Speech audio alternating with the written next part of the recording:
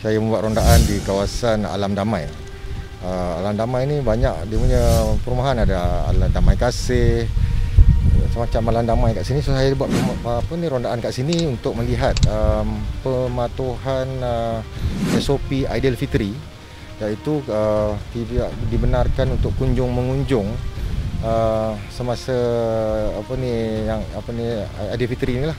So hari ini saya dapati um, alhamdulillah kawasan ni senyap sunyi ya. Dia orang tak ada membuat sebarang pergerakan kunjung mengunjung dan uh, saya sendiri ada membuat lawatan lah ke beberapa rumah untuk uh, tengok uh, beberapa rumah dan uh, ada berjumpa dengan tuan rumah dan uh, memang dia orang mengesahkan memang tiada sebarang uh, aktiviti kunjung mengunjung.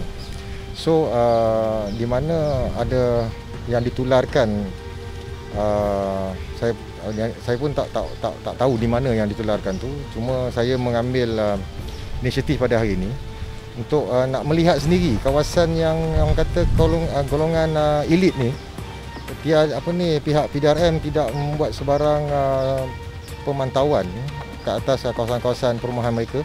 So hari ini saya sendiri datang uh, ke kawasan ini. Kalau kita tengok ini memang adalah kawasan ini. Senyap sunyi.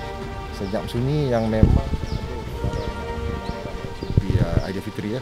Yang mana tidak membenarkan uh, untuk uh, kunjung mengunjung daripada rumah ke rumah ataupun daripada orang luar datang untuk baik untuk beraya di rumah masing-masing.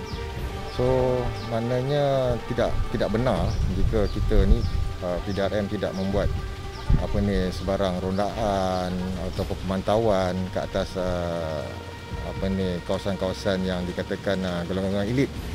PDRM tidak pernah membuat uh, tugasan untuk membeza membeza membeza-bezakan kawasan kita akan membuat uh, tugasan ini di semua kawasan. Memang kita telah apa ni aturkan uh, rondaan ini terutamanya pada hari raya pertama pada Syawal 1 hari itu. Dah dua hari lepas kita ada membuat banyak kawasan uh, rondaan di kawasan ceras.